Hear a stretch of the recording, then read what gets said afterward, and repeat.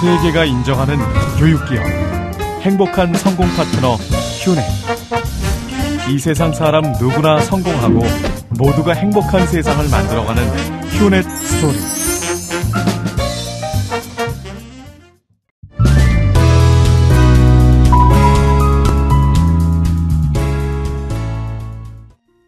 구성원들이 가치를 공유하고 그에 기초한 강력한 조직 문화를 갖고 있는 조직은 이윤 추구를 목적으로 삼았던 회사보다 성과가 높다.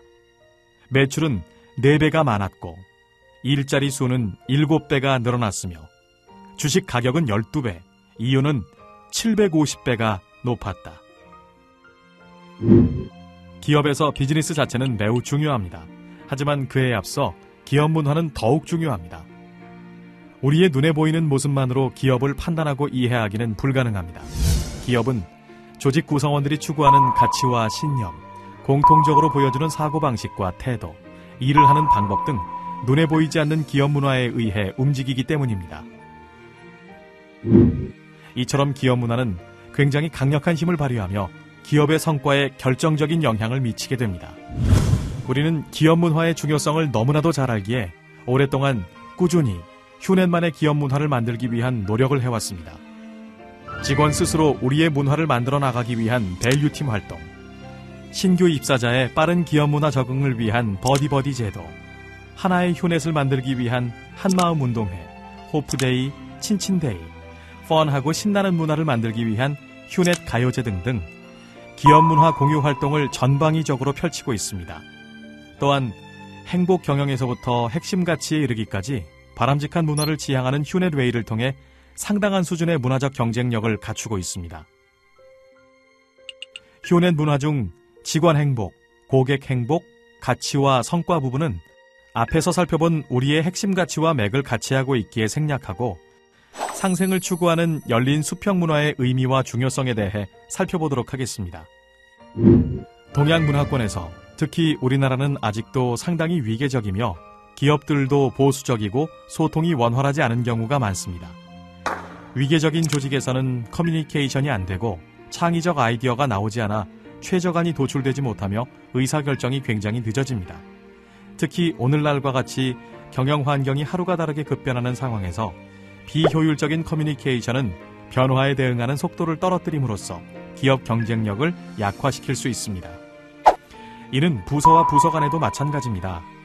상하 관계뿐만 아니라 부서 간에 있어서도 열린 문화가 유지되지 않는다면 상대방을 이해하기 어려워지고 업무 협조가 힘들어지며 결국 일의 진행이 늦어지게 됩니다. 시스코의 존 챔버스 회장은 덩치가 크다고 해서 항상 작은 기업을 이기는 것은 아니지만 빠른 기업은 항상 느린 기업을 이긴다고 했습니다. 우리는 이러한 빠른 의사결정과 유연한 커뮤니케이션을 겸비한 열린 수평 문화를 추구합니다. 이를 통해 직원 모두가 empowerment 되어 신나고 재미있게 참여하고 적극적으로 아이디어도 내고 제대로 커뮤니케이션하는 휴넷, 부서 간 이기주의가 없는 회사 전체의 목표를 위해 하나가 되는 휴넷이 되어야 합니다. 휴넷에서는 사원에서 대표이사까지 막힘없는 커뮤니케이션을 위해 대표이사실이 따로 없으며 누구라도 언제든지 메신저를 통해 CEO와 격의 없이 실시간 소통을 할 수가 있습니다. 매주 수요일엔 value day를 통해 타 부서 직원들과 친밀한 유대 관계를 맺을 수 있도록 하여 부서 간 장벽을 무너뜨리고 있으며 상상 park를 통해 직급에 관계없이 누구나 회사의 중요한 정책에 대한 아이디어를 개진할 수 있습니다. 이외에도 CEO 한라인인 투겐톡함을 설치하였고 페이스북 내 휴내 식구 수다방을 통해 전 직원이 하나 될 수 있는 다양한 기회를 만들고 있습니다. 앞으로의 경쟁은 기업 간 경쟁이 아닌 생태계 경쟁으로 전개될 것입니다. 한 회사뿐만 아니라 그 회사가 관계를 맺고 있는 다양한 협력 업체들과의 전략적 제휴를 통해 다른 동맹군과 경쟁하는 것입니다.